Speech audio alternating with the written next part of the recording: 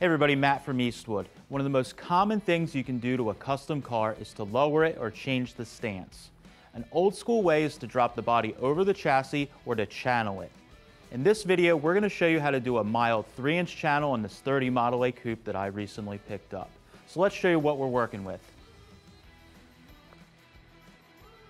After we were done building our custom chassis, we had a place to set our body down on top of.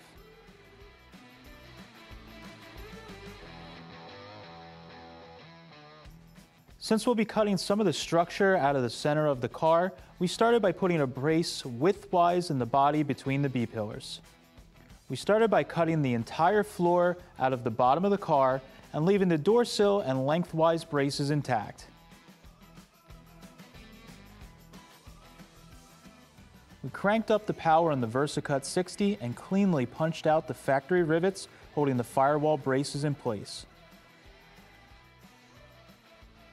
With the entire floor removed, we used the plasma cutter to cut out the amount we wanted to channel the body down over the chassis on the firewall. We made sure the cuts were just a little bigger than the frame width so the firewall could slip over the frame rails. Now that the floor was cut out of the bottom of the car, we were able to test fit the body on the chassis.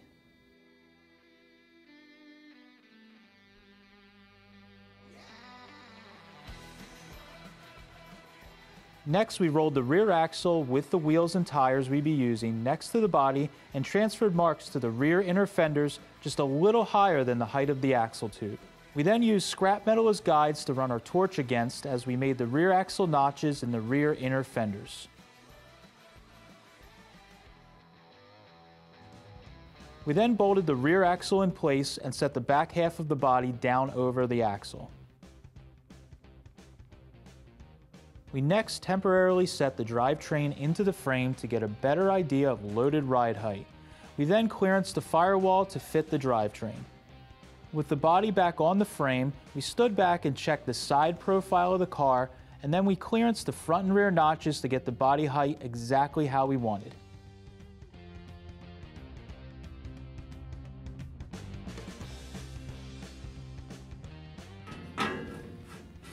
All right, now that we have the body sitting down over the chassis at a height that we like, we're ready to start on the subfloor. Now the first thing I had done was I had two pieces of eighth inch steel bent up to 90 degrees that run basically the length of the cabin of the car. These pieces are gonna sit over the chassis like this, and they're gonna be modified slightly so that they sit against the rocker right where we cut out the floor originally. After that, we have these pieces of U-channel that are also made out of eighth inch steel. They're gonna run across the width of the chassis connecting everything together like this. After we do a few modifications, we can weld all these pieces together, and then we can drill some holes and set everything up so that the body will bolt on just like factory. So let's get started.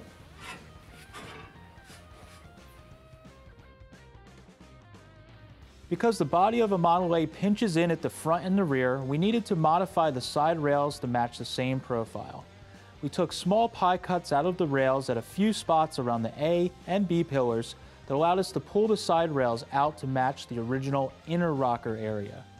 Because we made pie cuts, the gap of the cut was closed up as we bowed the rails outward. We then clamped the rails in place and welded up each seam, locking the shape into the side rails. With the first side rail welded and the welds dressed, you can really see the shape we put into it next to an uncut piece. When we originally had the side rails bent up, we had the top portion of the rail made a little wider than we needed since we didn't know the final shape of the side rail until we modified it.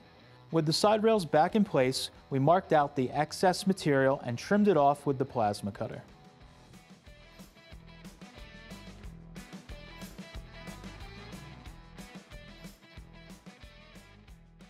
Now we moved on to making our cross bracing for the subfloor. Because we've dropped the body of the car down over the chassis, our drive shaft now sits higher than the height of the floor in the rear. We cut a piece of Schedule 80 pipe in half to make a quick hoop for the center of our rear brace. We then used the TIG 200 to weld the three pieces together.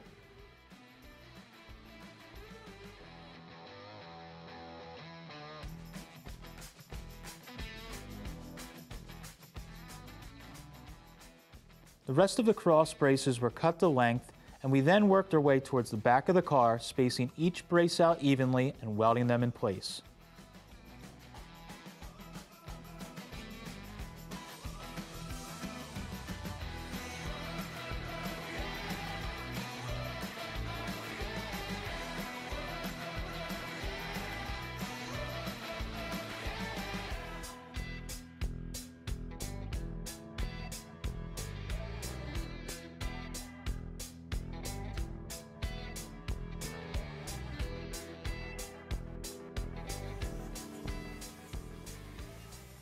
With the braces all welded in place, we used mini pinch weld clamps and C-clamps to pull the original rocker on the car against our new sub rails tightly.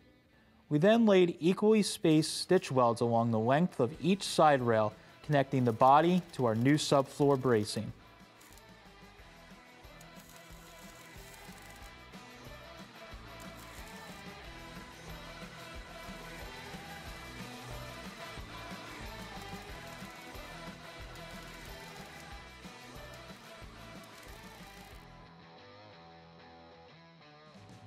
I then fabricated some simple front braces that will connect the firewall to the new subfloor.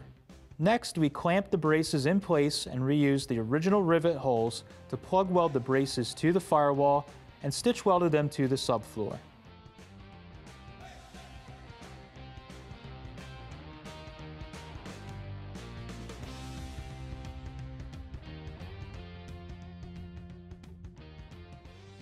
Now that the subfloor is pretty much complete, I drilled pilot holes into the end of each cross brace and straight down into the top of the frame rails.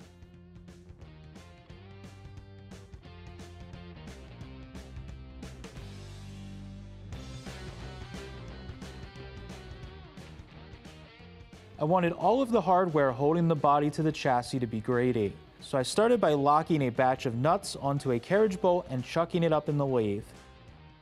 I then machined off the hex portion of the nuts, leaving me with round, threaded grade 8 bungs that were just a hair bigger than half inch in diameter.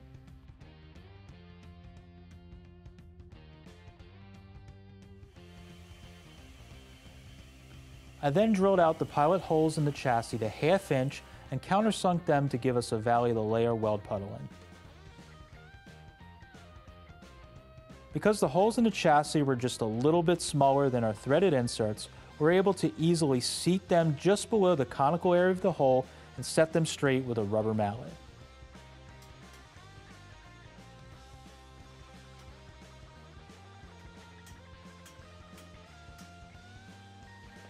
With each of the threaded inserts in place, I carefully welded them to the chassis, making sure the weld puddle stayed only on the edge of the insert while also filling the bevel.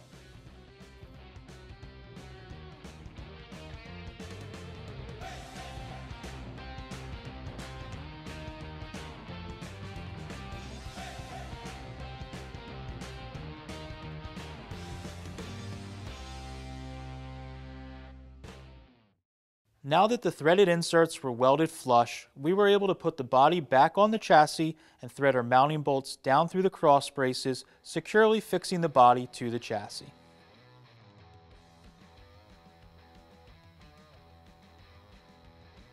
Well, the body bolted back down, I think we nailed the profile of this car. Now the materials we used to build this part of the project were pretty simple and most of our time was spent in just getting everything to match the contour of the inside of the car.